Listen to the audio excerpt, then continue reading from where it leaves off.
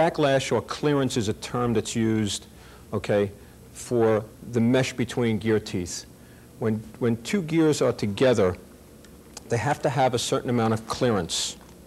And that clearance, that clearance is, is very critical. This is something I probably should have put up before, but here we go. That clearance, and this is a diagram of the actual clearance that you can actually see a gap in between these teeth. The clearance is there for a reason. As the gears start operating to full temperature, they're going to get warmer. That allows for thermal expansion. And after both parts expand, there still should be, uh, should not be any resistance between the gear teeth. They shouldn't be so tight as that they bind or pinch.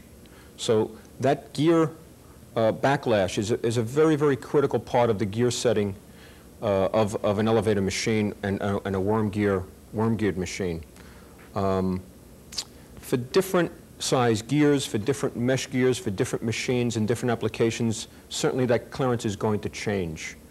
Usually and generally in this industry for an overhead geared traction machine, it could run a range of anywhere from 4 thousandths to 10 thousandths. If you have a large freight machine, you may want to have a little bit more clearance. If you have a very small, little pint-sized, very tiny machine, those clearances could be on the, on the tighter side. Okay?